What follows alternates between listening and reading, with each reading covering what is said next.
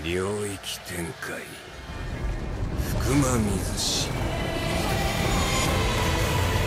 Hello guys, it's been a hundred hours already. I think it's time to finally release the video. Today you'll learn how to become ridiculously strong, one-shotting all bosses starting from the very first dragon to the last. Acquire several fast travel crystals right in the first hour of the game. Find all the best merchants and level up relationships with them without failing a single quest due to clumsy speedrunning, which many players have already done after watching several videos with initial tips from people who haven't even completed the game once. You can use advices from this guide at any point of the game, whether at the very beginning, as soon as you land from the Griffin, or later during your journey around the 70th hour. As you can see, for better navigation, I added the time codes. In the first part of the video, we'll simply make the dogma more quality of life comfortable, while in the second part, there will be complete destruction of everything using the strongest vocation in terms of damage, the Magic Archer. In Dogma 1, this class was already unbalanced, surpassing all other classes in everything. In this part, the other classes been improved, but the gap in damage aspect with the Magic Archer still remains, even compared to sorcerers with their meteors that requires incredibly long casting and setup to deal about 5 times less damage than the archer does in an incomparably shorter time. Cause in Dogma there's no infinite stamina while exploring and you don't have the roach, I recommend you to make main character as tall as possible, simply cause tall characters run faster. Also, if you want to make your pawn melee based, it's better to make it tall too. I prefer to start the game as a mage only because in Dogma, stats are distributed during the level up depending on the character's vocation, and I don't want to receive strength when I'm supposed to be magic archer. But considering this new info, in Dogma 2 all vocations anyway get identical stats near level 200, so that's not that important. In Melve, if you bought the Port Crystal microtransaction DLC, you can immediately place a fast travel spot. If not,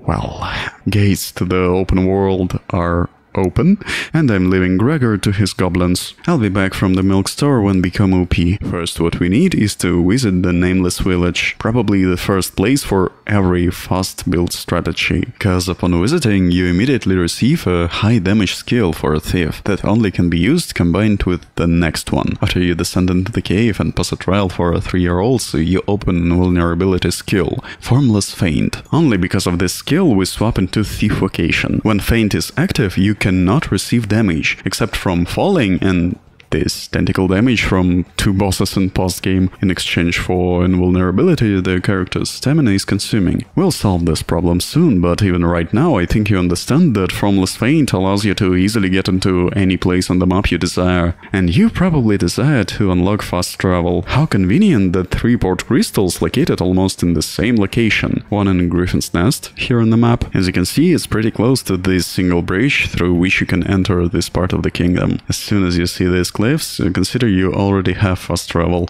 Jump off the left side, pick up the crystal, fairy stone, and a bunch of gold lying in the nest. Even if Griffin is here, there won't be any problems to loot all of this. Then, uh, the dark forest, which the road from the nest leads to. It's an unpleasant location. Understanding where to go in the pitch darkness is pretty hard, but here's a point on the map that you need to follow. The main thing is to reach the zombie village along the way. After that, you go here, see another cliffs, just climb on them and leave Dark Forest behind. Also, don't forget to time to time disable Formless Feint if there are no enemies nearby to avoid wasting stamina. And don't be stingy with consumables. We'll have a plenty of them soon, so there is no point in holding onto them. When you climb up the cliffs, check that you have at least one pawn alive by this point. On the top, turn right and you see a campfire and a giant ladder. That's the place. If Harp is still chasing you near Sphinx, just kill them or go to near cave to remove aggro. As Sphinx. For now, you only need to complete the Riddle of Madness and the Riddle of Conviction. First, uh, Riddle of Madness. Just bring all your pawns to the pedestal, and the second port crystal is yours. Riddle of Conviction. Here you just show her a port crystal, so she can duplicate it in chest. Also, if you show her any other item, Sphinx duplicate it as well. But in my opinion, port crystal is the best option. So, after receiving in total 3 fast travel marks, we need to head to Battahl. That's the entrance.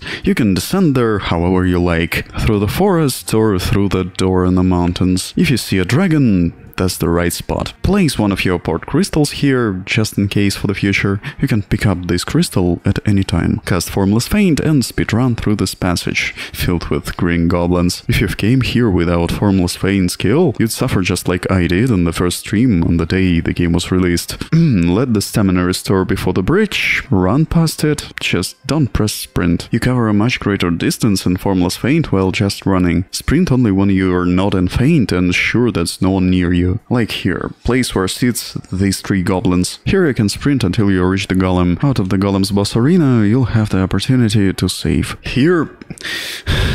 Don't go left. There are owls. You don't want to mess with them. Just go forward until you reach the bandit camp in the village. After that there will be a bridge, turn left, run a little, turn right, and after a long climb on a crag, you'll get to the city. Deposit all useless items at this tavern, place here a port crystal, go to the market and buy a fairy stone. You need two of them in the inventory for money making. One you already looted from Griffin's Nest, uh, that's uh, the second. The most effective non-fighting farming strategy in this game is to have a port crystal in Melve and one somewhere in Battahl. With that you just use climate differences to your advantage. Look, when you buy fruits in Melve, they cost around 50 gold. When you sell them in Sandy Battahl, they cost 170 gold. And if you sell ripened versions of fruits, they cost even more. Fruits become ripened after two days in your inventory. If you bought the microtransaction, you already have a crystal in Melve. If not, just use one of your two fairy stones to get to that port crystal near the dragon, take it in your inventory and run this marathon to Melve. If you're not me and already unlocked Vernworth, you can go to Melve using that ox card. Okay, when you have all the crystals set, the farming process looks like this. You buy grapes and apples from this guy, sit on a bench, wait here a day, buy fruits again. When 10 ripened grapes and apples accumulate in your inventory, send them to your stock in a nearby tavern. Continue that until you run out of money. 8000 gold would be enough for initial investment for a start. After spending all the money and filling your stock with ripened fruits, teleport to Battahl, take all the stuff from the tavern and sell it to this guy. After you sell it, buy two fairy stones. He has only one fairy stone in stock, so after buying, wait 3 days at this bench and buy the second one. Also don't forget to buy as many stamina restoring pills from him as you can. With Harsput Reverence you can easily run long distances without turning off invulnerability, just restoring your stamina either by fast usage or via inventory. Unbalanced stuff, you know, especially on some pure thief build. So, after acquiring two fairy stones, you can make another Melve Battahl road for even more money, but I think it's better to not overdo it. You'll need only 70,000 gold in total. Um, by the way, some players might have a problem with this strat if they have Logistician Pawn in their party. If you've seen this icon on the right part of the screen, feed the pawn that causing this to the water. At Battahl you can buy Noon Blooms and Sun Blooms from this cat girl. Combining these two will give you a bunch of flowers, which can improve relations with some characters that have this and these traits at their info. This way, gifting around 2 or 3 flowers to the Stamina Pills guy gives you a 5% discount. If you don't have a discount with the Melve vendor, you can give him some flowers too. Only don't gift all flowers at once. Give a character one bunch, then wait a day, then give it again. This way you won't waste extra flowers. Through the whole game, you'll need about 10 more flowers, so you can buy it now. By the way, hope you collected 70,000 gold to spare, because with our remaining port crystal, we're coming to acquire the best pre-eclipse gear in the game. You can buy it at the volcanic island, and no, you can't go through here. There's a giant locked door, so we must go a long way through the south. Should I explain something? Um, just turn on invulnerability and walk through the enemies along the way, hitting Harsput Reverence. I advise not to deviate from the road and follow the map. At some point, after goblins, there will be owls. If you didn't had Reverence and Formless Feint at this moment, you'd only be able to pass here at around the 40th attempt. Yes, that's exactly how many times I died here on the first run, when I didn't know about the Nameless Village existing. Actually, if you think about it, it would be so cool to be a big YouTuber receiving press releases. God, if I had the opportunity to play the game in advance, I could have made this video right in the release day. As you can see, after a bandit camp, we end up in a dungeon. Of course, you might get lost here, but if you stuck to the left hand, I'm sure everything will be nice. If you see a cyclops, it's the right way. Jump over the pillar to the chest, and here you can catch your breath. Then go right, break the pile of rocks, descend, run a little, and finally we're in the desired location. A little more running forward straightforward. And here's the city. On my playthrough, I wasted around 8 Harsput Reverence. Next time I visit Bagbatal, I'll buy more. Why did we even run to this camp? To play support Crystal here, and also for this cat girl, selling the best equipment for any class, and two fairy stones. Immediately give her flowers, skipping days, until you get 10% discount. Just look at her cheeks. God, if she kicked me in the stomach and forced me to lick her hairy legs. So now we have three port crystals placed at the best game locations. Around 70,000 gold to buy the most expensive weapon for each class, and a trader who can sell it, with the one who sells rare stamina restoring consumables. Time to move on to the second part of the guide. The one-shot arc begins. If you already visited Vernworth, you probably met this old man. I'm not, so I had to return to Gregor and finally accompany him to the capital. Back to the dwarf, give him some grass. Accompany his dusty majesty to the house, talk a little, agree to take him to the city, use a fairy stone to go there, or if you wish to suffer, you can run there by yourself.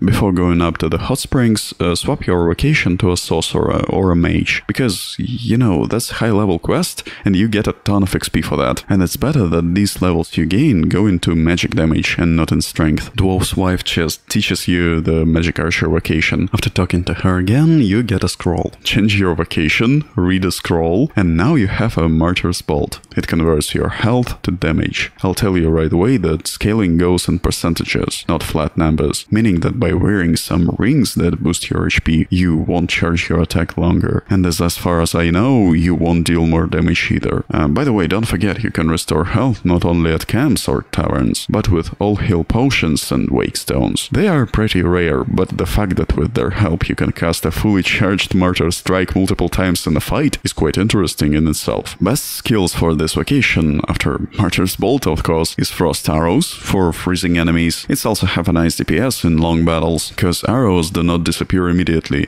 and damage enemies after the first hit for about 5 seconds. Next, Ricochet Arrows. Obviously maximum efficiency it shows in enclosed spaces like caves, buildings. Damage of these arrows in such conditions is comparable even with the Martyr Strike, but without having to waste your health. Last skill you can pick by yourself. Sagittarius Avalanche is cool for its burst damage, and big part of the game I played with it. Especially satisfying is when you release all this gravitation magic into some armored enemy and send him flying with one blow. But we all know what skill will be your favorite.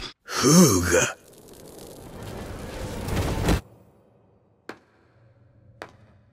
You know, in Second Dragon's Dogma there is no such thing as Fireball in Mage Arsenal. If you want to cast AoE spell, you're forced to use either long casting meteors or some little stream of fire. Thanks goodness Magic Archer doesn't have such problems. Blaze Fang Arrow does a great job in clearing low tier trash like goblins and all of that. At the same time, it's easily killing hairy, vulnerable to fire bosses. Of course, against some fire dragons that have resistance, Flame Arrow is useless compared to Avalanche that has a really high damage. But let's be clear, Frost Arrows long term deal more damage even than Sagittite, so only advantage of uh, Spaghetti Avalanche is clearing some little fire immune salamandras. When speaking of Blaze Fang Arrow, it has big advantage in the post game. Every boss there has a mechanic of weak points, after the destruction of which it gains an vulnerability until new weak point opens up. Obviously, you don't want to spend health on this using Martyr's Bolt, because this mechanic makes one-shotting impossible. But you can use Fire Arrow. It helps without any problems erase all the post-game bosses. These guys are the strongest in the game, but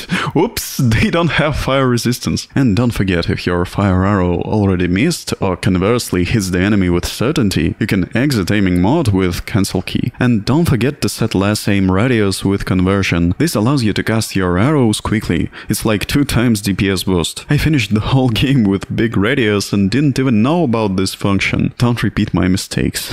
okay, we talked about skills, so now back to the game. Buy Dragon Breath Bow from a cat girl, and now you can go to elves. Just go to these ruins, jump a little bit, a cave uh, with an ogre inside, and on the left from the cave exit will be the Sacred Arbor. To understand Elvish, make your pawn a proficiency by gifting some bunches of flowers to Elven Town Keeper. As always, gift one flower, go to the bench, skip say repeat? At some point, she gives you a scroll that lets your pawn understand British. With that, you can easily grade your bow one time and buy two magic damage rings from this granny. So, I think the gear we have is pretty enough for the rest of the game. Even in sufficiently difficult Eclipse segment, uh, the build, even in current state, will perform excellently. And by the way, regarding the main quest, and that's precisely why I left Gregor on the path to the capital. For some reason, after the character's visit to Vernworth, a time limit is imposed on you during which you must fastly complete Skelly Invader's quest along with the Monster Culling quest from Brant. If you don't do this within a certain time period, the quest related to Ulrika, leading to a romance with her, simply becomes unavailable, and the Drake attacking Melve just won't spawn. I have no idea why this quest is tied to time, keeping in mind that Ulrika is like the main romance girl in the second Dogma. I understand it's a strange comparison, considering the differences in the importance of the plot in these games, but it's like if in The Witcher devs gave you a limit of 13 game days to come to Skellig, otherwise Yennefer's quest just disappears, and she becomes an average background NPC on the location, with whom you can't even start a dialogue. And this is exactly what Ulrika became on my first playthrough. Okay, enough crying. I haven't talked about pawns yet. By default, any party must include a mage with Celestial Paean and Palladium, and a sorcerer with Maelstrom and Meteors. The third pawn allows some thinking space, because it's advisable to pick it according to your build.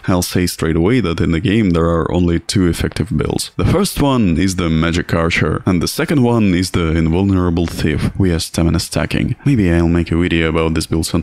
For a thief, you want enemies to hit you, so for a third pawn you can either take a second mage or a sorcerer. But we're playing Magic Archer, and for us it's important to have a tank that aggroes enemies. This can be any melee vocation. A pawn just need to have either Provocation Augment or a Ring of Disfavor, or both. A tank pawn may be a thief uh, with this set of skills and these augments. This pawn will be most effective in killing bosses with weak points, cause thief has the biggest DPS while climbing. But problem hits with pawn's AI. Thief pawn don't use Formless Feint most of the time, don't want to run into the thick of battle, even if he's invulnerable right now. So only cause of stupidity of AI in this game, thief pawn is not an ideal option. Same goes with fighter. Yeah, this class have a really cool mastery attack, but when fighting against giant enemies, for some reason fighter pawn just stays AFK blocking, or it starts to climb enemies, which is even worse, cause when character is climbing, enemy most of the times loses aggro on it and starts attacking someone else. I'm not saying that fighter pawn can miss his mastery attack, cause one-handed weapons is pretty short. I can say that fighters is best against default enemies such as these armored rattlers, one of the most annoying enemies in my opinion. For example, warrior pawns can't kill them with one combination, but when it comes to bosses, I think this vocation has the best AI for the pawns. Yeah, I can say that warriors has objectively less DPS than the thieves, but they have a higher knockdown damage and resistance to it too. As you can see in the pretty good armor, my warrior pawn literally tongue Dragon's Landing and without staggering just kills it. And I can say overall that warrior is the best vocation for a tank. Look for a warrior pawns with this setup of attacks, these segments, and with maximum 2 meters 15 centimeters height, like my Muriel. Her ID is on the screen by the way. Best jewelry for warrior pawns is Rings of Valhamans, that you can buy from the same merchant in Volcanic Island. So this is how the best pawn setup for Magic Archer looks like. What's next? I think it's time to collect all the remaining port crystals. Easiest from all crystals to acquire is from Dragonforged, but only after you slain one or two dragons and have 20 wyrmslife crystals to trade. I recommend to place purchased crystal near the entrance to the cave. Dragonforged is pretty useful NPC. Fifth crystal you get by completing a quest from this elf in Vernworth. You don't need to fight anyone here, the only thing you need is to run a lot. Buy a human bow for the elf, shoot with him in the forest, then return to the city. Find the elf again in the square and go with him to the elven harbor. Then save his sister from an ogre. Killing ogre is not necessary. You can just take his sister and run out of the cave. At the exit, talk to elf's father and he will give you what you need. Sixth crystal you get in the main quest from Brant when it's time to depart to Battahl Desert. The whole main quest is like fighting with two goblins around Vernworth and nearby villages three times and then walk around the city listening dialogues. Only finding a library in slums is pretty stuffy. You needed to free this dude from the cells. Aside from that, that there's nothing difficult. So don't be lazy to listen some verbiage from Preston Garvey for one port crystal. It doesn't fail any side quests if you're worried about that. More you can get only once per new game plus by duplicating crystals at Sphinx riddles, or considering that half of the players already downloaded thousands of cheat modes, allowing to buy 900 crystals for 1 gold. You can get it randomly as a gift to your pawn. Especially if you're a streamer, YouTuber, or just some high rating pawn creator, you can count that time to time you'll receive these unique items. Best thing you can get from another world is golden bugs. You know, game allows to place only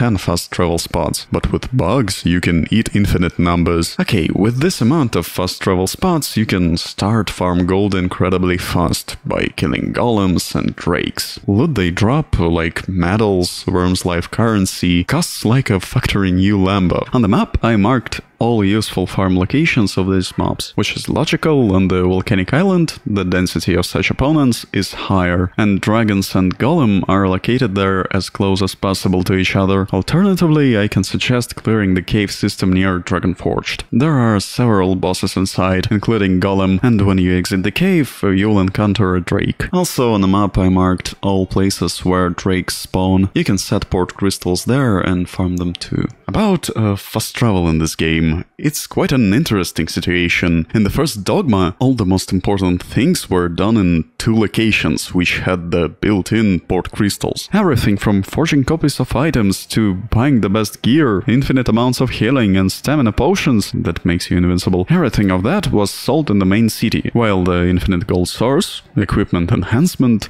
and the best possible min-max gear were in the DLC that had a built-in rift stone at the entrance too. In the second part, probably to force players to donate for port crystals, all of that was scattered around this gigantic world. Even weapon enhancing was divided into four types. To min-max physical damage, you need to go to Battahl. To enhance magic, to the elves. If you're brokey and don't have resources for an upgrade, go to Vernworth, it's cheaper there. And if you want a knockdown damage slash resistance, go to dwarves. Also for weapons that damage both magically and physically, dwarves are better. Things at least near the game ending, raiders gather in the same place once again. After farming some dragon's locations, or just farming only one volcanic island, as I prefer to do, you can sit on a bench, doze off to skip 7 days, and go your farming road again. This way you can get as much money and XP as you want, if you want it, of course. As I understand from the position of min-maxing, the most effective way to build your character is to speedrun the whole game on the first level, kill all 15 enemies that you'll meet during story quest with your high-level pawns that you can summon from your Steam friend list. There are no restrictions on a pawn's levels when it's your friend. And after starting a new game plus on a low level, you just go to the Dragon Dragonforged, spend 20 dragon crystals on a vocation stat buff, and just play the game only with this buff. With it, every level you'll get, your stat bonus will double. By the way, I think it would be fun to make such perfectionist min-maxing Game Plus run, but not in this lifetime.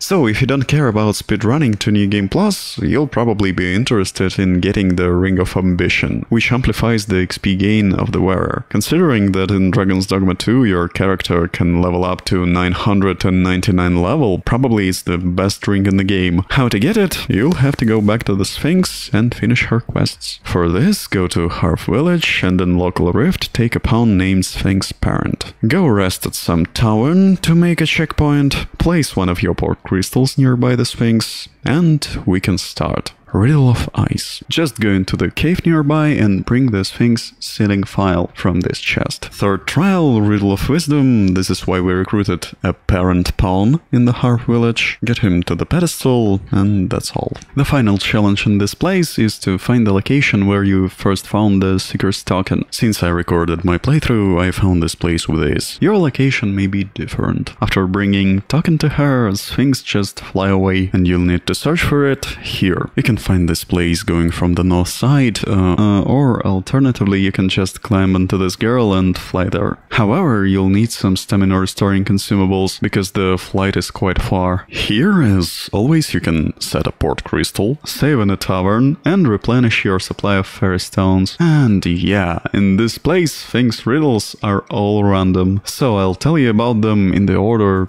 they appeared for me. The riddle of differentiation. You'll be asked to bring her an average self-improvement channel subscriber. Hopefully he's already improved his confidence and cold approach skills. Probably even embraced nofap. Maybe in 50 years he'll finally find a girlfriend with that face. This guy is one of two well-known brothers. One is named Dante, he's on the north side of this gate, and the other is named Virgil. He's on the south side of the gates. We need Virgil specifically. Top 10 best mewing transformation.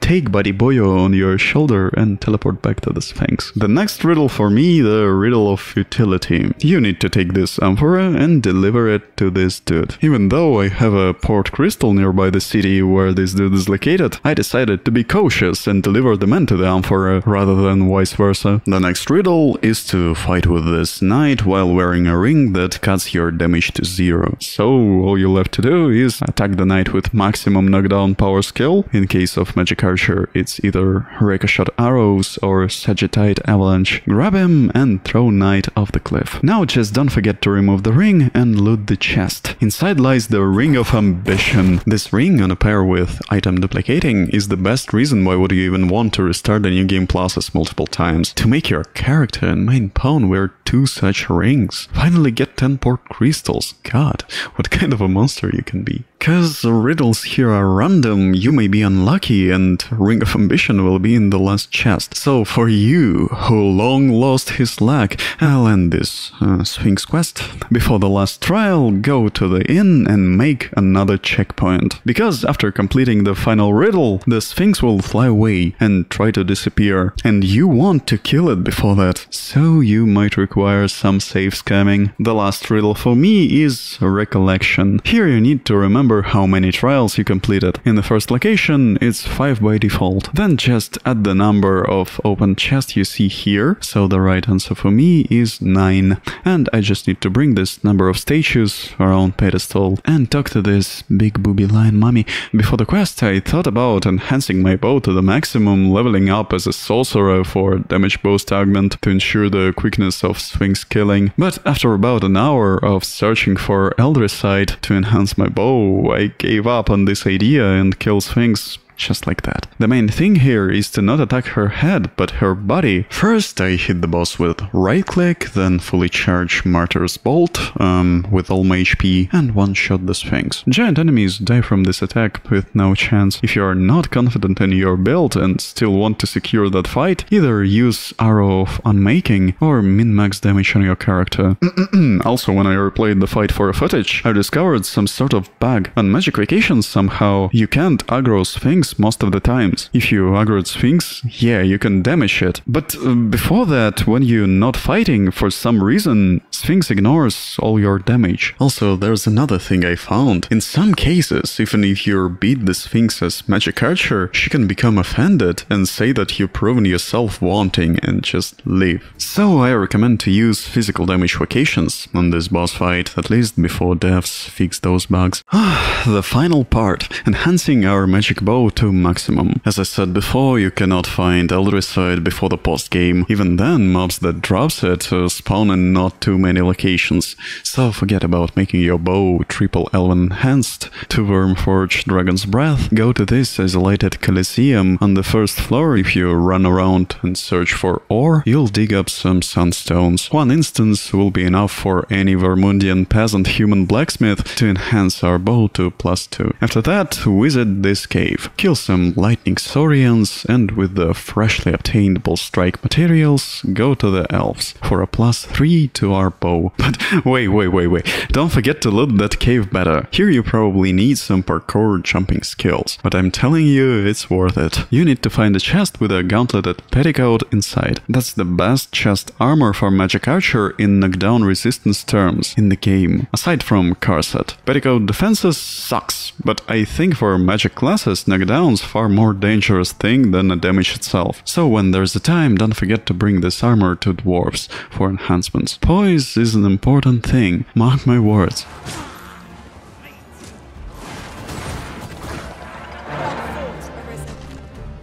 So, about bow. Enhance it fourth time with help of Dragon Forged. And if you decided to play with Petticoat, enhance it too. Yay!